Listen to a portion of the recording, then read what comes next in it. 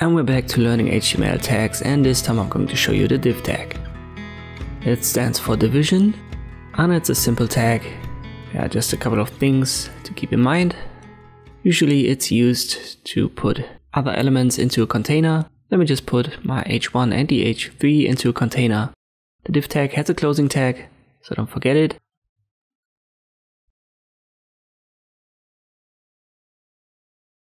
And I won't change anything in the formatting of my website, but you can then use this container, give it for example a class, and then style it later on with CSS. But there's one thing that needs to be said about it. Let me add it to the paragraph below. If I just edit like this, I've put the entire paragraph into another container. Nothing is going to change in the browser display.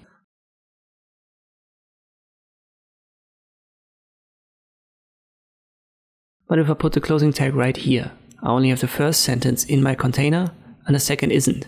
So if I save it and reload it in browser, you can see that the second sentence is now on a new line. And this is what the div does. It gives you before it and after it a line break. So if I put, for example, the opening tag right here and I have the second sentence in a container,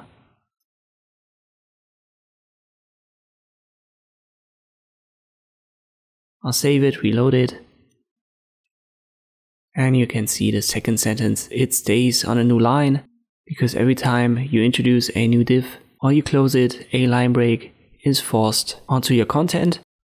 The first example, the H1 and the H3, they have line breaks by default, so you won't see a change, but when you add it to paragraphs, you will have this change.